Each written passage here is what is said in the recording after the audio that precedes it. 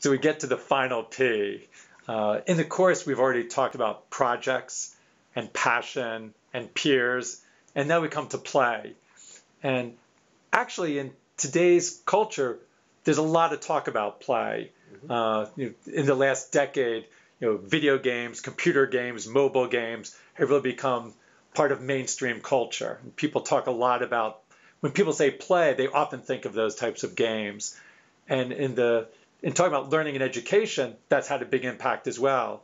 I think a lot of people see that there's such attraction to the new generation of games that and that kids get so invested in that they think why can't we have that same type of investment in learning? So people often think why don't we just bring games to learning? But in the conversation around that i think too often play gets seen in a somewhat narrow way in my view that play gets associated with fun that kids have fun with this so let's make learning fun mm-hmm. and again i have nothing against fun it's nice to you know have things that are fun but for me that doesn't get to the heart of what you know, I think of when I think about play. Uh, but for me, the essence of play is not just about having fun, but it's more of an attitude of sort of exploring and experimenting. That play experiences are about taking risks, testing the boundaries, trying new things, exploring, experimenting.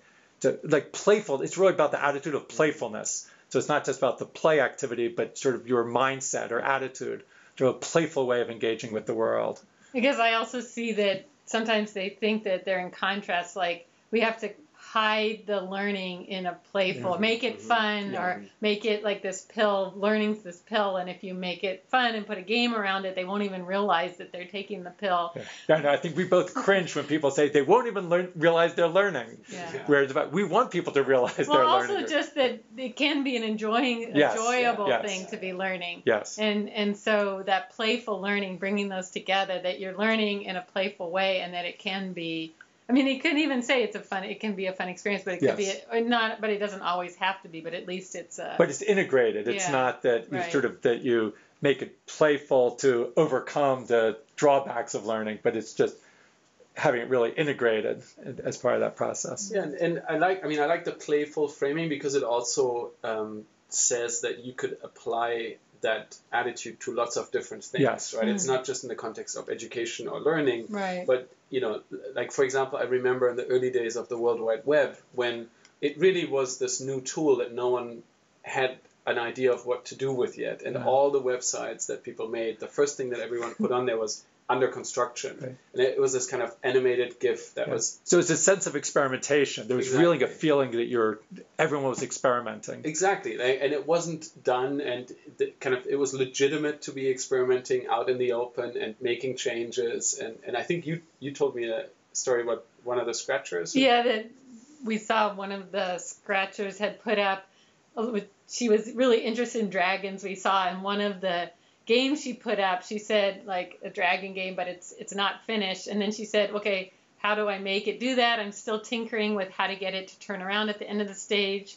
And then she said, oh well, okay, my next version is like Dragon Game 2, still mm-hmm. not finished, right? So it just kept being. Yeah, that's great, but too often, well, in Scratch or other things, you just see the final product. Yeah. And actually, from the final product, you really can't tell what the process was like. So that was a great example that since she had multiple versions and wrote about it and reflected on it, you could see that there was a playful process that she was going through. And it's nice that she actually used the word tinkering because that's also a word we often use in thinking about that approach to learning, that you're constantly experimenting, trying new things.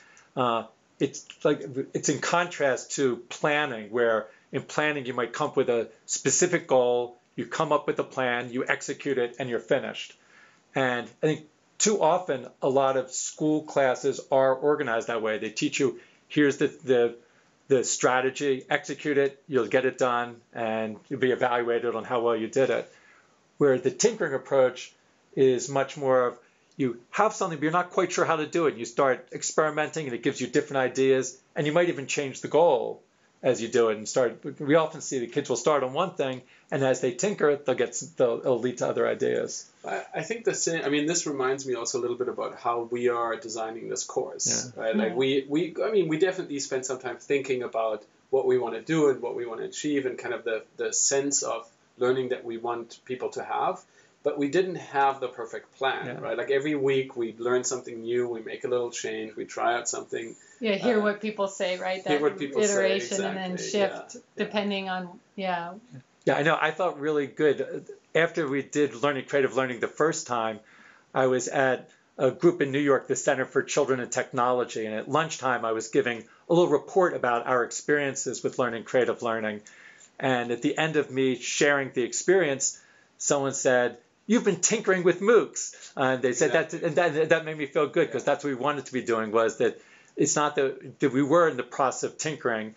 And of course, part of our goal is to get other people to tinker. When we've developed, you know, projects like Scratch, part of our goal is to help other people learn to tinker. Or, or when we create places like computer clubhouses, we want to create a space to allow young people to tinker. Mm-hmm but we have to, it's important for us to keep tinkering as well. So I was happy that someone else saw that what we were doing with this course. But it came up though that some people think of tinkering as I'm just tinkering around yeah. and you're not getting anywhere. Yeah. And we think of it more constructively yeah. than Well, people use play that way too. You're just playing. So I think mm-hmm. in both ways, people sometimes trivialize play and tinkering. That is, yeah, just messing around, but uh, sometimes messing around is an important part of the process. Right, and then sometimes a plan, often a plan comes out of like we yes. feel like you need to become more familiar with the materials yeah. and the and what's possible. You need to tinker first before you can come up with a plan, rather than thinking before you even touch yeah. anything, come up with your plan, which I do hear yeah. a lot. Yeah, so it's not either or. That I think a lot of the best play activities and learning activities involve sort of the shifting back and forth of experimenting, trying new things but then having an idea and you're sort of going along a path and you plan the path, but then something goes wrong and you start tinkering again. So it's always this this back and forth. And I think in the course we do some of that as well. Um, and so, and so I, I, think so. Hopefully that's something that we can keep alive in our own work as to continue to have a playful approach to the way we do this course and the way we do all of the things that we work on. And I guess I'd also say that people applying the ideas from the course in a tinkering way, like Sherry Cohen said that that idea, and Cynthia talked about the idea that this whole idea of tinkering helped them feel like let's tinker with the whole way that mm-hmm. we do our human rights work. Yeah. So I think that permission to tinker with whatever it is that you're doing. Yeah. So in addition to whatever ideas people are getting from the course or sharing in the course, I hope people come away from the course with a new uh, excitement about applying a playful spirit to whatever it is that they're working on. Yeah, and permission to tinker. We give the permission to take.